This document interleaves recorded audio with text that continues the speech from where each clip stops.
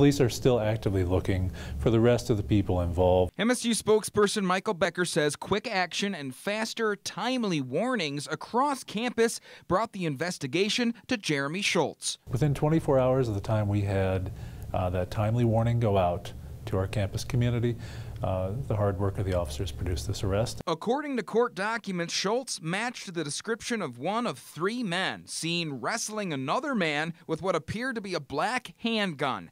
When someone stepped into the hallway, they bolted, driving west in a red Dodge pickup. The other two men are still at large. There were three people who fled from Gallatin Hall, and obviously police are still looking for the others. Court documents show that Shultz admitted to going to the hall, wanting to get recording equipment back from the building. He also admitted to having the gun, which he claims was a realistic looking BB gun. The dedication of the officers involved, the detectives involved, has been tremendous. They worked all throughout the night uh, to make this arrest. Chief Parrish says the campus Special Victims Unit played an important role during the course of this entire investigation up until this point.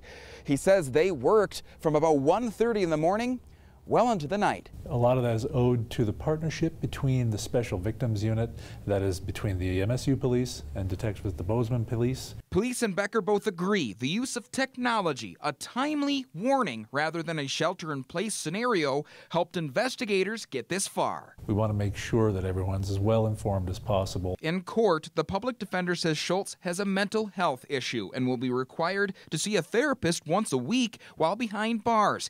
Neither the victim nor Shultz, Becker adds, are students or staff at MSU. At Montana State University, Cody Boyer, MTN News.